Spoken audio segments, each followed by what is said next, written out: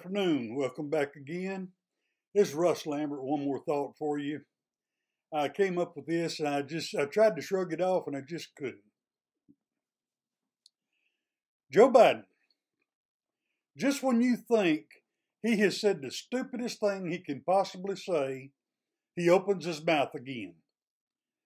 You know, I, I think somebody needs to get his attention and remind him of the old proverb it is better to remain silent and be thought a fool than to open your mouth and remove all doubt. Who was it? Maybe Confucius or whoever's supposed to said that. Anyway, I'm beginning to understand what I think it was Barack Obama. I'm beginning to understand what he was talking about when he made the comment about Joe's ability to mess things up you know, and, and, and I'm going to tell you the truth, there for a long while, I thought he was making a mistake by staying in his basement for as long as he did. What they call put a lid on it. I, I, th- I thought that was a mistake, but it's turning out that maybe he should have never come out of it. I want to show you this video clip from his town hall that was just the other day. I'm the proud mom of two girls, eight and 10. My youngest daughter is transgender. The Trump administration has attacked the rights of transgender people, banning them from military service, um, weakening non discrimination protections, and even removing the word transgender from some government websites. How will you, as president, reverse this dangerous and discriminatory agenda and ensure that the lives and rights of LGBTQ people are protected under U.S. law? Well, flat out just change the law. Every, eliminate those executive orders, number one. You may recall I'm the guy who said, uh, I was raised by a man who uh, I remember I was being dropped off. My, my, my dad was a high school educated, well read man who uh, was a really decent guy, and I was being dropped off to get, get, an application in the center of our city, Wilmington, Delaware, the corporate capital of the world at the time. And these two men, I'm getting out to get a an application to be a lifeguard in the African American community because there was a big swimming pool complex, and uh, and these two men, well dressed, leaned up and hugged one another and kissed one another. I'm getting out of the car at the light, and I turned to my dad. My dad looked at me and said, "Joey, it's simple. They love each other." The idea that an eight year old child or a 10 year old child decides, you know, I decided I want to be transgender. That's what I think I'd like to be. It'll make my life a lot easier. There should be zero discrimination. And what's happening is too many transgender women of color are being murdered. They're being murdered.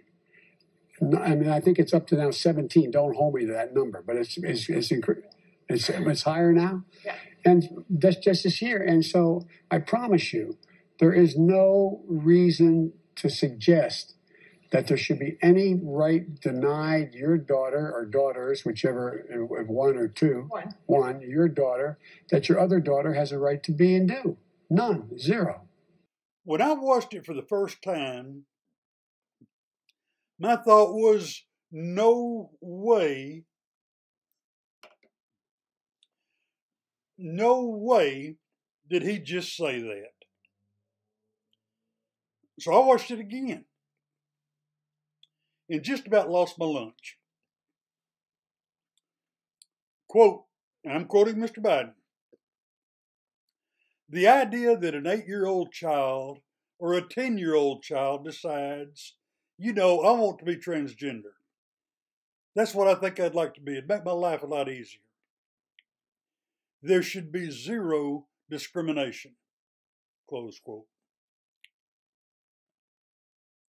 That's coming from the man who wants to be our president. Zero discrimination. Does that mean mom and dad can't tell them no? If that little girl comes in there and says, hey, I want to be a boy, and if mom or dad tells them no, is that discrimination? You going you gonna come get the parents? Does it mean that if the kids who live next door that's used to playing with them every day, if the kids next door refuse to, to play make believe with them, Are you going to come after them too? Does that make them a bigot? Now, folks, this whole mess right here, it ain't nothing but a big pile of you know what. You want to make life easier for an 18 year old kid? For a confused 18 year old child? For starters, how about just give them a decent set of parents? I'm talking about parents who will teach them and lead them in what's right. I'm talking about parents that'll face that'll face tough issues head on and deal with them rather than stick their head in the sand and take the easy way out. I, I'm I'm talking about parents that'll be honest enough and love their children enough to tell them the truth. Help them deal with the issues that they have. Help them get through it and not surrender to it.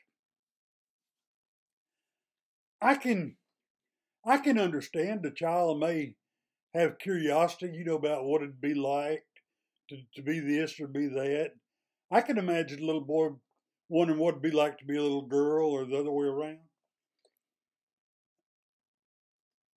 But being curious about it, or even daydreaming about it, is probably not a big deal. But when you start talking about hormones and therapy and transgender and sex change and all this other stuff, that is a big deal. That's that's well, I'm gonna say it like I'm, I'm, say what I'm thinking. To allow a confused little boy at eight years old to make this kind of a decision, that is the worst form of child abuse there is. That kid, and I think she says she's got two kids, both her kids ought to right now be in the custody of Child Protective Services. And, and I'm saying right now, but before now would have been better. But just one more thought. If an eight year old little boy, if all he has to do is, is claim he wants to be a little girl, and mama makes it so, what's mama going to do when the 10 year old decides that she wants to be a French poodle? I always heard it said that it takes all kinds of people to make up a world. But I'm convinced there's a few kinds we'd be better off without. Tell me what you think. That's my two cents. Tell me what you think. Till next time, be good to one another and God bless you.